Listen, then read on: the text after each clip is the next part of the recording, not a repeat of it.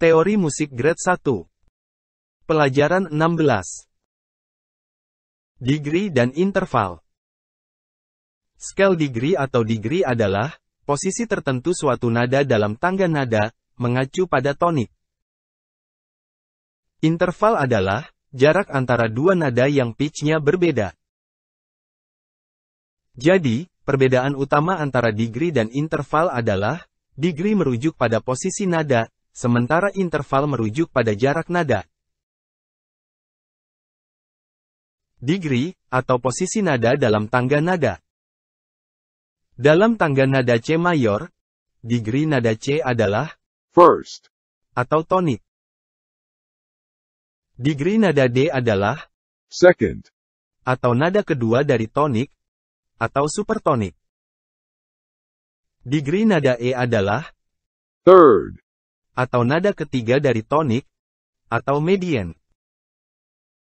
Degree nada F adalah fourth, atau nada keempat dari tonik, atau subdominan. Degree nada G adalah fifth, atau nada kelima dari tonik, atau dominan. Degree nada A adalah sixth, atau nada keenam dari tonik, atau submedian. Degree nada B adalah seventh, atau nada ketujuh dari tonik, atau leading tone. Interval, atau jarak antara dua nada. Jarak antara kedua nada ini adalah second, Begitupun dengan jarak antara kedua nada ini.